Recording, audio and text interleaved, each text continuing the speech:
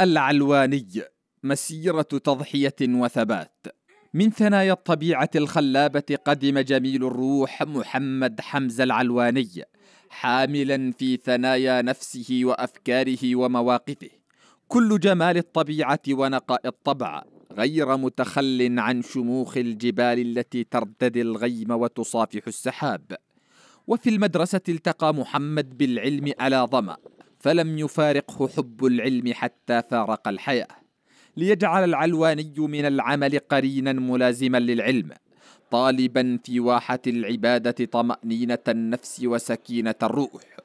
عاش العلواني قريبا من الناس بل عاش في عمق آمالهم وآلامهم. وإذا كانت لكل راحل صورة تبقى في ذاكرة من بعده. فإن صورة العلواني لدى أولاده تبقى صورة القلب الرحيم الذي نزل لمستوى الطفولة ليلعب معها وارتقى بالطفولة لمستواه لتفكر معه. لم يكن العلواني متقوقعا حول ذاته أو أسرته بل كان رجل مجتمع. ومن تلك الصفة جاء توجهه إلى ميدان الصحافة ليقف مدافعا عن المظلومين بقلمه ومواقفه. وهي مواقف فرضت على العلواني أن يواجه متاعب التضييق عليه في عمله الوظيفي وصولا حد قطع راتبه الشهري عله يلين أو يصفق للظلم. غير أن يد العلواني التي كتبت دفاعا عن الحق أبت أن تكتب حرفا في غير الحقيقة. صمد العلواني حتى النهاية. وهي نهاية اضطرت الرجل للعودة إلى مسقط رأسه. بعد أن ضيق عليه القتلة كل السبل ليصبح مهددا في حياته بعد أن نفذ الظلمة تهديدهم في مصدرهم الأساس لكسب قوت عياله.